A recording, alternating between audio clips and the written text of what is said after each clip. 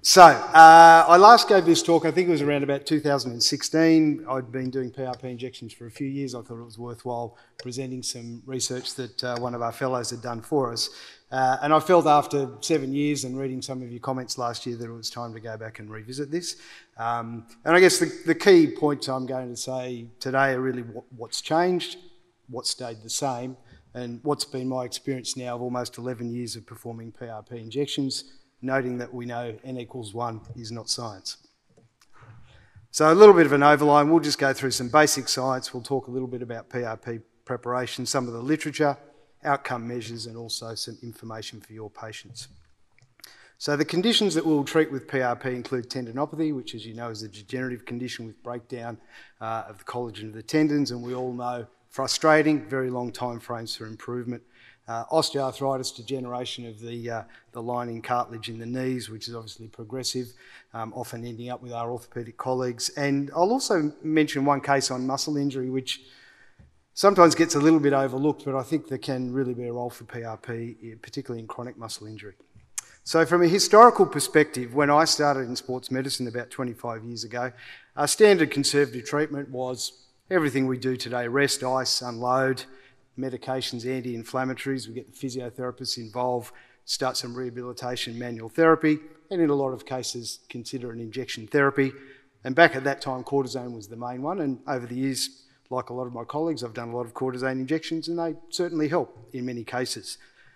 Over the years, other substances have put their hand up. Does anyone remember polidocanol or aprotinin? So they, they came and went.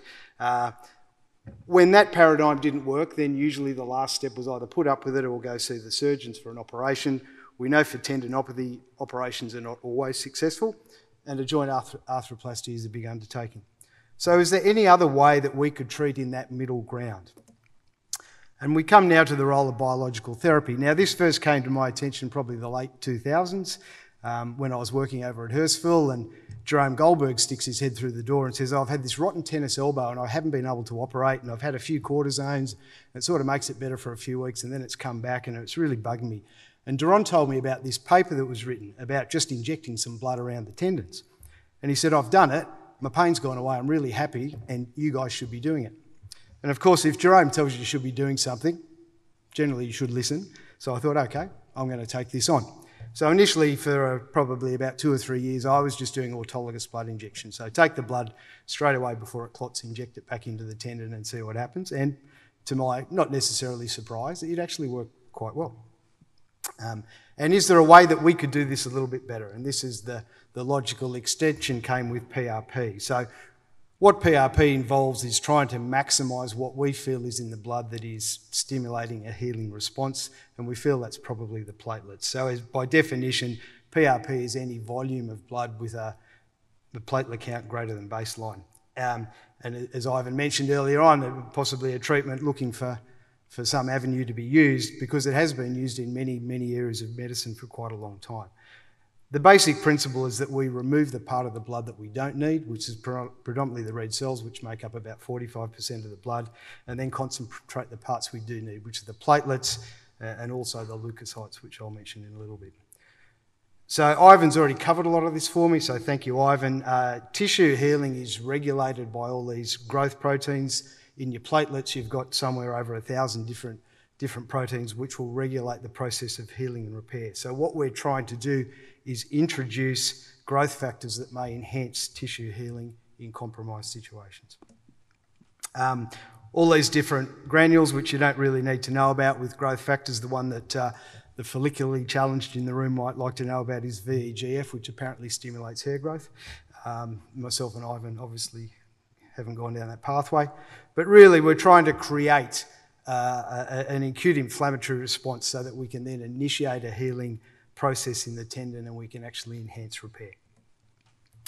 Uh, there's many ways we can prepare PRP, and, and, when I go through the literature, I guess one of the main um, criticisms of PRP has been, yeah, but there's all these papers that suggest that it doesn't work. But what we also need to understand is there's many ways that you can uh, uh, you can skin a cat with PRP preparation, and that goes anywhere from simply taking some blood and putting in the test tubes and spinning it for five minutes to actually using a commercial system with a two spin uh, process, which will actually give you a buffy coat, which I'll uh, describe later on. Um, but the real goal is to maximise the platelet counts, but also I think the role of white cells. And, and I think that's one thing that has changed over the last few years, and particularly this meta analysis by Jane Fitzpatrick from Melbourne, uh, who suggested and seems to have shown that the studies that used a buffy coat and had a higher, so leukocyte rich preparation, were more effective than leukocyte poor preparations for the treatment of tendinopathy. So that's a, a good paper to go and have a look at.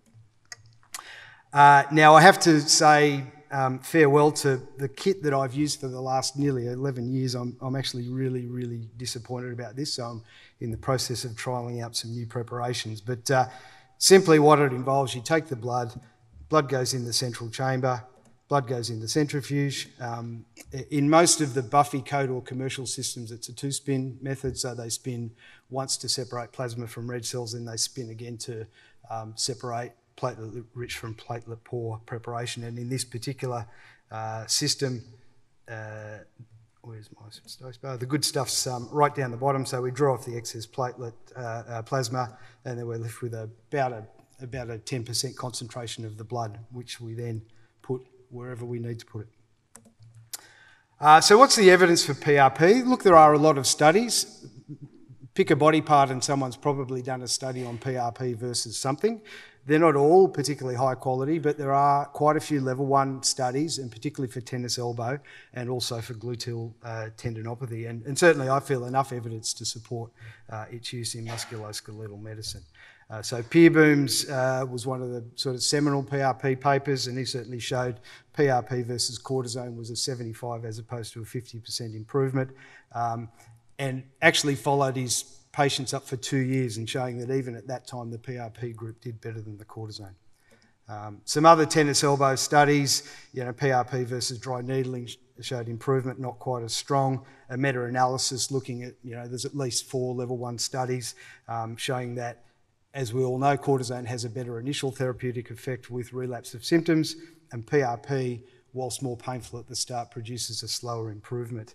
Uh, one other point out of this was that when the patients had been rescanned in tennis elbow in one study, is that the morphology of the tendon uh, had improved. Um, some soft studies for plantar fasciitis.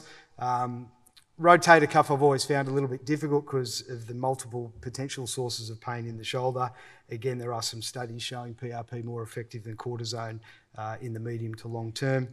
Uh, I think if you go and look at any series of papers, and a, a, a, plug for Australian researchers, this is again Jane Fitzpatrick from down in Melbourne. She has done a PhD on the use of PRP in gluteal tendinopathy. It's very well um, researched. She's done follow up out to two years. She had a crossover arm um, looking at the patients that failed cortisone who actually went on to PRP. So there's a few different studies that are worth looking at. Um, her initial study at three months was an 80% improvement in PRP as opposed to 50% in cortisone.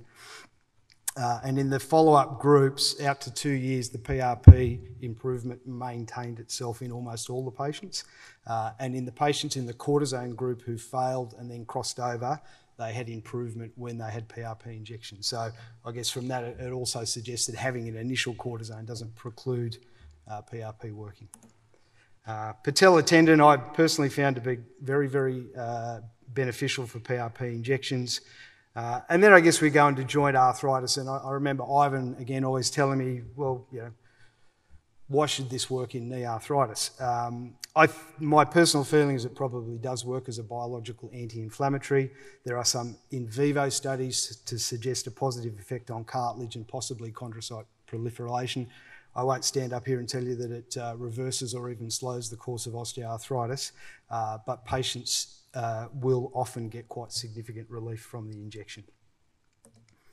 Uh, again, few studies uh, looking at PRP. This I thought was a good study from Patel. It's a little bit of an older one, but looking at PRP as opposed to saline.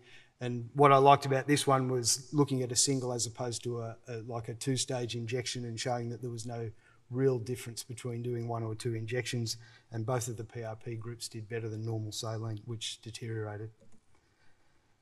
Um, a lot of studies now as well comparing PRP to hyaluronic acid, and as a rule, most of the studies favoured PRP over HA.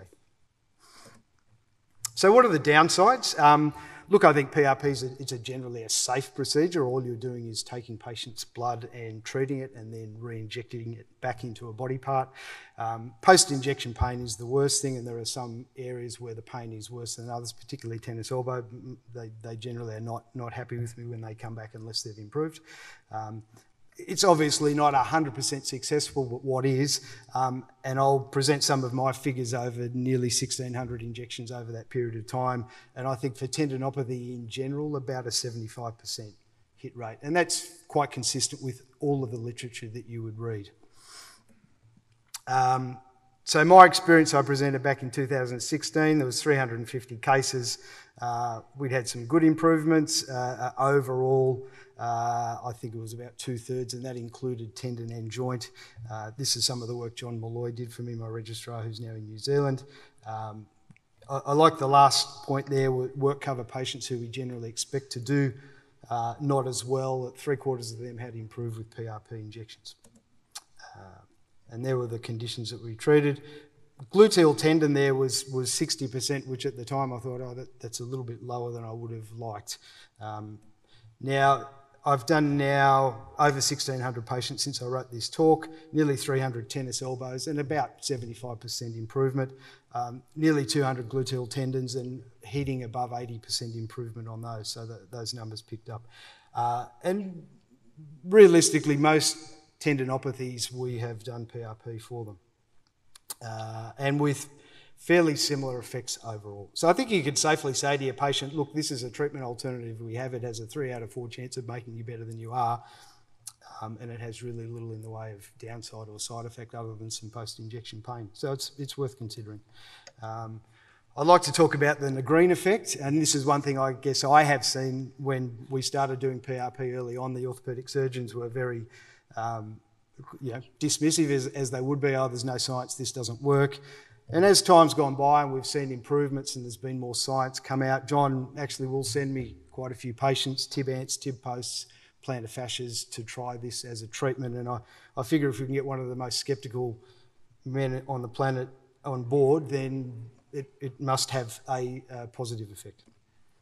Um, so joints, I tell patients usually about 70% for my joints. Uh, I've had quite a few glenohumeral OAs from, from Jerome. You know, some of them have been great, some not, not so good, but more, again, more, more good than bad. Uh, so my experience of PRP, um, 52 year old male, very average tennis player, awful technique, um, nine months of, of tennis elbow, which I sat on, watch and wait, which is what some people advocate, and I got a little bit sick of it after that time. I thought, well, I'm, I'm peddling this stuff, so I should really bite the bullet and have a go.